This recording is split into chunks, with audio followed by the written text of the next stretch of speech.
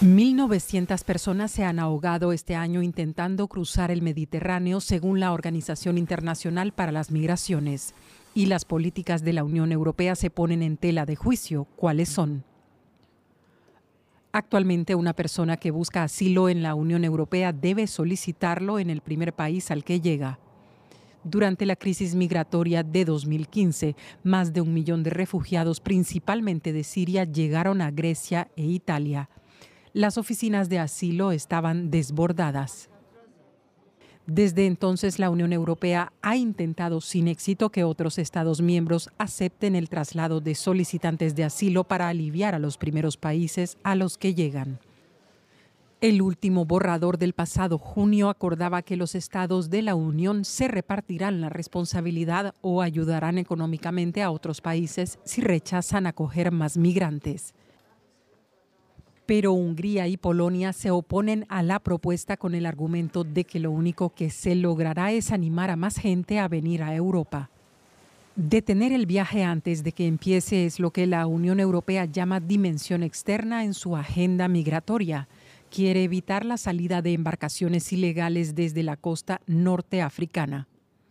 La Unión Europea ofreció mil millones de euros en ayudas a Túnez para que se encargue de impedirlo un acuerdo parecido al que la Unión Europea cerró con Turquía, miles de millones de euros a cambio de acoger a más de 3 millones de sirios.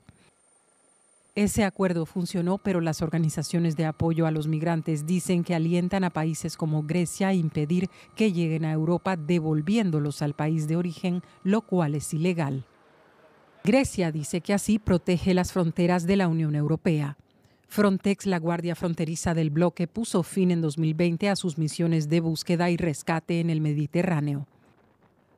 Ahora solo patrulla para reforzar las fronteras. Se le acusó de no intervenir para salvar vidas en el reciente naufragio cerca de Pilos, Grecia. Sin embargo, el jefe de la agencia insiste en que su función se limita a informar a los guardias fronterizos nacionales de tragedias inminentes. Las políticas migratorias de la Unión Europea siguen siendo complejas y deficientes.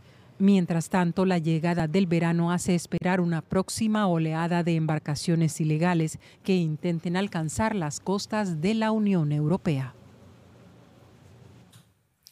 La Unión Europea y su esfuerzo para hacer cumplir un plan de acogida más equitativo de los solicitantes de asilo en todo el bloque. Aumenta la presión tras esos recientes naufragios, lo hemos visto frente a las costas de Grecia y las Islas Canarias. Conectamos con Gemma Piñol Jiménez, es directora de políticas migratorias en InStrategies. Señora Piñol, la Unión Europea ha dado los primeros pasos para desbloquear la política de asilo común. ¿Cree que será capaz de cerrar el pacto migratorio este año? Eh, buenas tardes. Eh, la verdad es que llevamos tres años esperando la aprobación de este, de este pacto. Sabéis que se aprobó en septiembre de 2020 y tendría que haberse eh, dado luz verde desde el Consejo pues, pocos meses después. Y durante estos tres años lo que hemos visto es que los Estados miembros no son capaces de alcanzar un acuerdo entre otras razones por las que habéis comentado, porque hay un desacuerdo profundo sobre lo que entienden que deben hacerse en materia de inmigración y asilo desde, las diferentes, desde los diferentes países.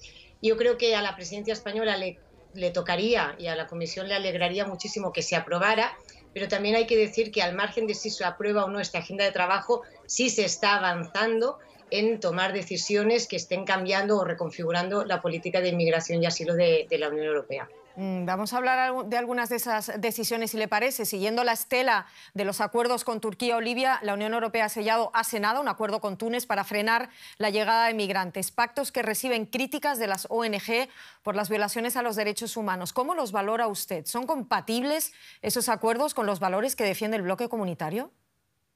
Lo que estamos viendo con esta serie de acuerdos, que lo que es lo que denominamos la externalización de la política de inmigración y asilo, es cómo los Estados miembros están intentando que las personas que podrían buscar asilo y protección internacional en territorio europeo no puedan salir de los países vecinos. Por lo tanto, eh, en términos de vulnerar el espíritu de la Convención de Ginebra, que permitía y decía que todas las personas pueden acceder a un territorio a solicitar asilo, no estaríamos atendiendo correctamente eh, esta necesidad.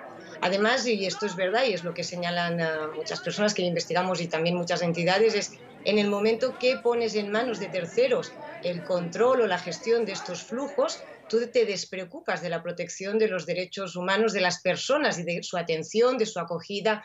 Hemos visto en Túnez, una semana antes justo de la, de la asignatura de este acuerdo, cómo expulsaban a personas, las dejaban en el desierto sin ningún tipo de atención, familias enteras. Es decir, al final esta externalización lo que hace también es degradar aún más la protección de las personas que pueden ser solicitantes de protección internacional o simplemente personas eh, que quieren buscar una vida mejor. Mm.